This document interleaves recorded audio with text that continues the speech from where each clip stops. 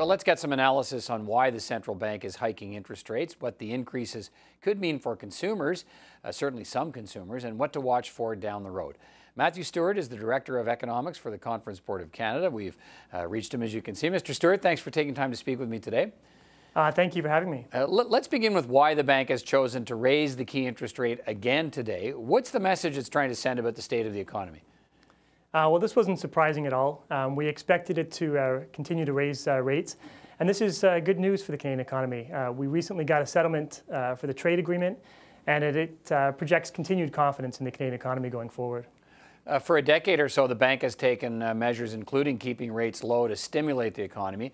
It sees less need for stimulus now, although it is careful about hedging its bets on how quickly it might boost rates in the future. What's it watching for? Uh, really what it's watching for is uh, more trade uh, disagreements, uh, particularly a trade war between China and the United States. Uh, that could impact future rate hikes. Um, also how consumers handle the current hikes. we all have been talking about the amount of debt that consumers have taken on over the last couple of years. And given the recent increases, how that's going to affect consumers going forward. The central bank talks about an interest rate that is uh, neutral, uh, a rate that doesn't stimulate the economy but doesn't shrink it either.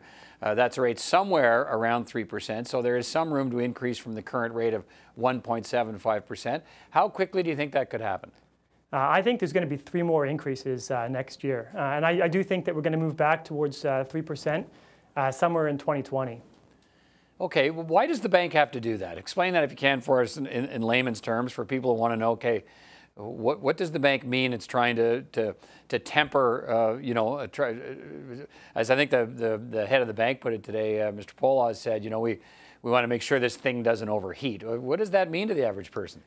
Uh, well, the bank is always watching inflation, and what they're trying to do is to keep inflation close to 2%. And as the economy heats up, uh, it builds inflation pressures, it builds pressures around wages and consumer spending. so really, they want to increase rates ahead of that uh, to keep inflation from uh, picking up steam. The bank did not seem overly concerned about the effect of these rate increases on uh, Canadian families, although it did say it's, it's going to be watching uh, the effect. Many of those families, as you know, carry a massive amount of debt uh, burden, and one third of them in a recent survey are saying that, look, they're, they're worried that higher rates will push them into bankruptcy. How worried should those families be? Uh, for those people who have taken on a lot of debt, uh, I think this is the time when they should be trying to pay that down towards uh, locking in their rates uh, because it will have a very large impact on the Canadian economy. Uh, as you mentioned, uh, Canadians have taken on an enormous amount of debt um, over the last five and 10 years. Uh, and with uh, interest rates now on the way up, this is the time to try and get that under control. what are the practical effects of, of the, the I mean, is, is there a way of knowing how close some families are to the line here? The difference in a, in a quarter point increase in the central bank rate, what does that translate into in terms of a, uh, in terms of a mortgage? What do the banks do with that? Well, you know, when you look over the last uh, couple of years, even though households have taken on a lot of debt, uh, their interest payments have actually fallen because interest rates have been so low. And they've been able to renew this, these mortgages at much lower rates. Uh, but going forward, the average household uh, will see substantial increases towards their debt payments. And so it will have a, overall, on average, it'll have a pretty large effect on the Canadian economy.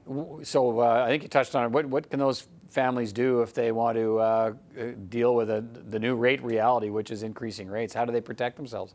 Well, uh, they can lock in rates now, but really they can try and pay down the high, uh, their high interest debt. Uh, these are things like credit cards, um, lines of credit that, that aren't locked in and uh, try and bring these rates or these interest payments uh, down before rates uh, continue to rise. When, so let me go back to that poll that, that suggested uh, there's lots of Canadians concerned they may be pushed into bankruptcy. Do, do you think we'll see some of that and, uh, and a lot of it? Well, right now when you look at the bankruptcy data, it's still quite low. Um, but we will see uh, a greater amount of households under stress. there's no doubt that interest rates are going to rise pretty substantially over the next year and a half when you look at the broad economy, uh, I don't think it's going to have a, a major impact on, on growth projections, uh, but it will impact some households uh, substantially. But we're not getting to the, uh, I certainly remember the days of interest rates uh, in the 20% range. We're, we're not heading there anytime soon, are we? No, but households also had a lot less debt uh, back then. And, and, when you look at the debt to income ratios now, they're at record high uh, households have, have, really taken advantage of these low rates by uh, taking out lines of credit against their houses. Uh, it's, allowed, it's allowed them to spend a lot more on consumer durables, uh, uh, things tied to new purchases of new households, new houses. Uh, so this is going to have a, a larger impact uh, than it would have uh, back then. Okay, uh, lots to watch for. Matthew Stewart, appreciate your time. Thank you. All right, thank you for having me.